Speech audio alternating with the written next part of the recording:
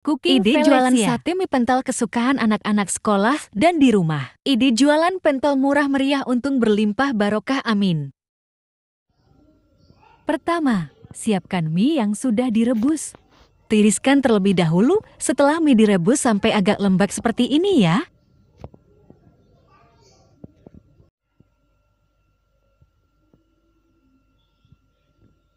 Dua, tambahkan bumbu halus bawang merah, bawang putih. Secukupnya sesuai selera masing-masing.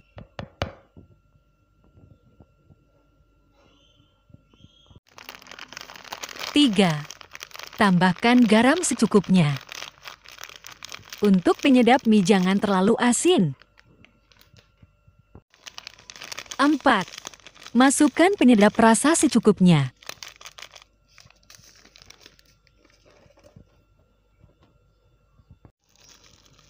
Lima, tambahkan merica halus secukupnya.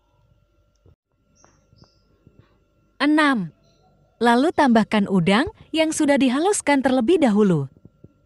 Atau juga bisa pakai daging hulus biar makin terasa seperti bakso. Tujuh, masukkan 5 sendok makan tepung terigu. Kegunaan tepung terigu agar mie dapat dibentuk seperti pentol, ia terasa kenyal.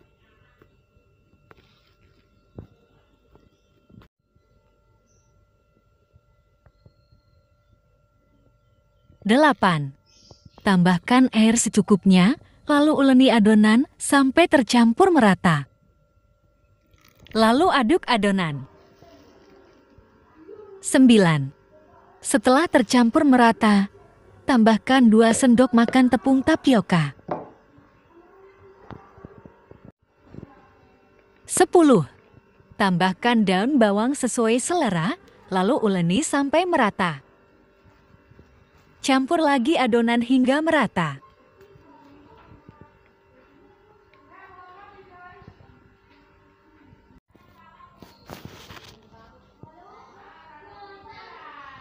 Sebelas.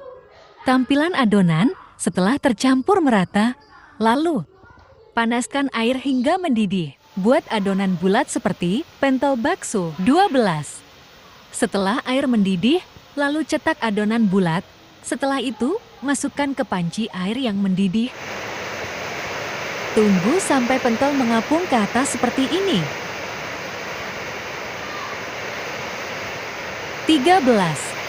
Kalau adonan mengapung, itu berarti adonan telah matang. Setelah matang pentol ditiriskan terlebih dahulu. 14. Jangan lupa bolak-balik ya guys. 15. Kalau sudah matang merata bisa diangkat, lalu ditiriskan.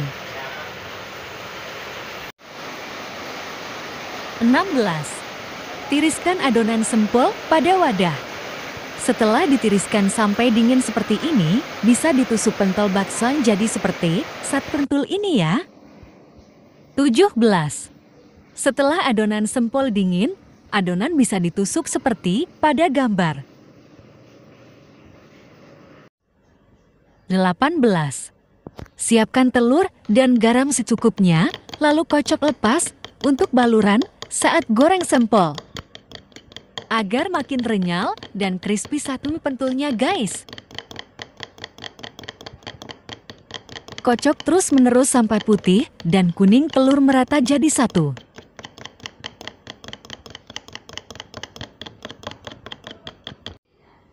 Sembilan belas. Hidupkan kompor, lalu panaskan minyak untuk goreng sempol. Setelah minyak panas, masukkan sate pentol satu persatu. 20. Setelah minyak panas, goreng adonan sempol yang dicelup telur. Jika ada sisa telur, bisa dituang seperti gambar. 21. Goreng adonan sempol sampai matang. Setelah matang jangan lupa ditiriskan terlebih dahulu. Tunggu hingga sate pentolnya berubah warna hijauis agak kecoklatan.